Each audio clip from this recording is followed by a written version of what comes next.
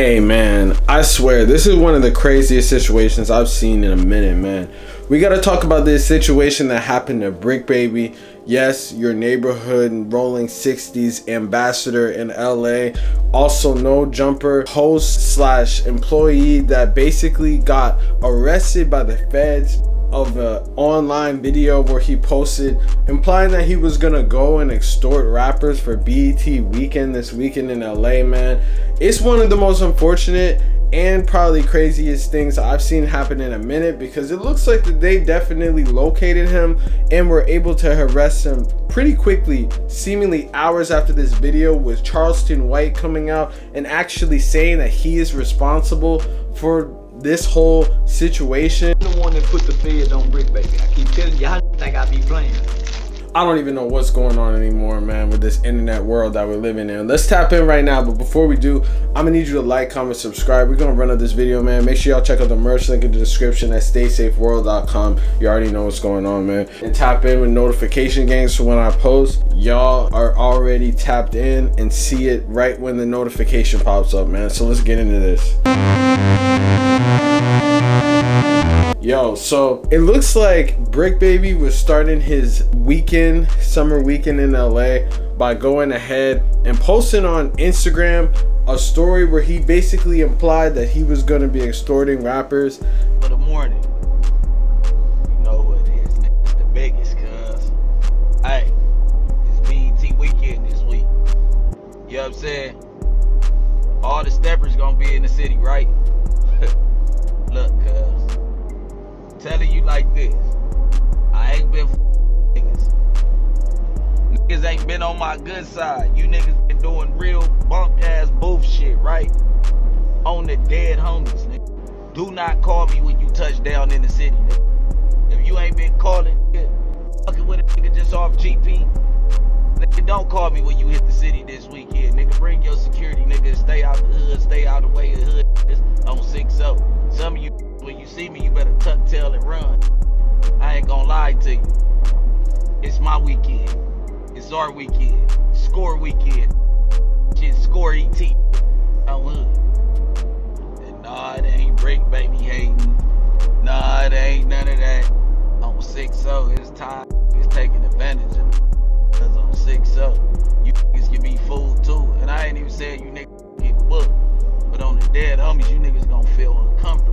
I mean, that's what people sort of got the idea. But basically, in the video, he says that it's BET weekend. Everyone comes out to LA. And he did have a point. Everyone comes out to LA and tries to hit him up, probably for security, stuff like that, you know, checking in, like a lot of people online really talk about doing.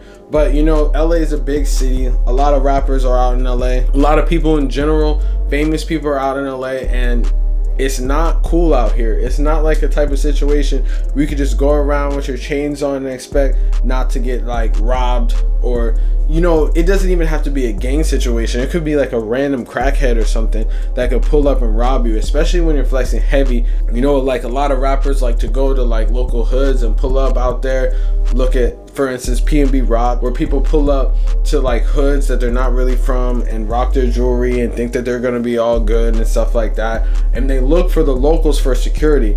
And you know, LA has a culture of people basically checking in. It doesn't matter who you check in with, but if you're from out of town, like it's a big thing for people to go and check in, you know?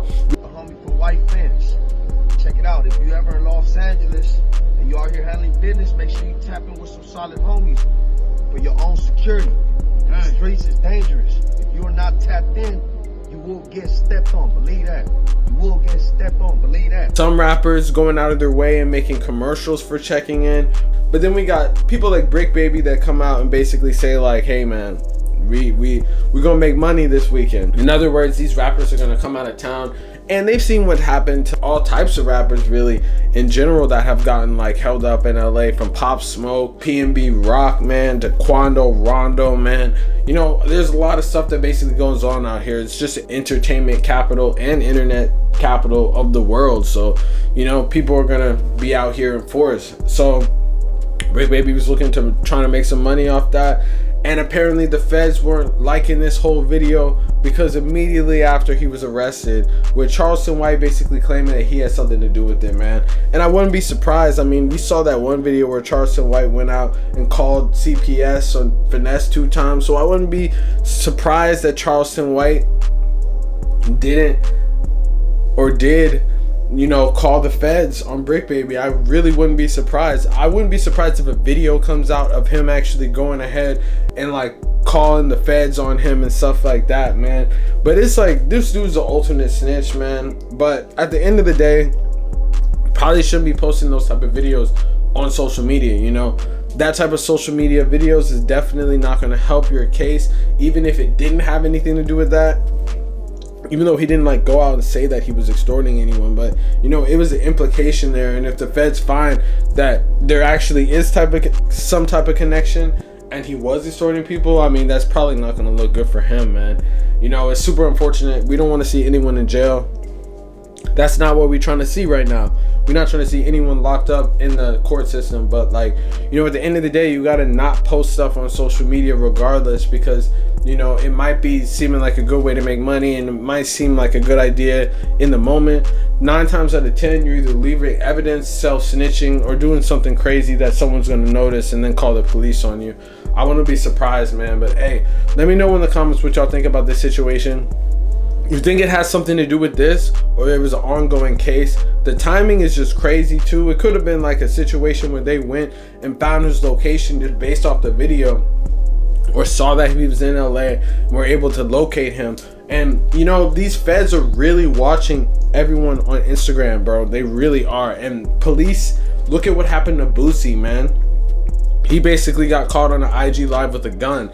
So the San Diego Police Department at that time in his situation were watching on his Instagram live. So it's not a surprise when this type of stuff happens. The LAPD probably were watching him, you know, the detectives unit were probably watching him just on his IG live or on his IG to see where he is at times, you know.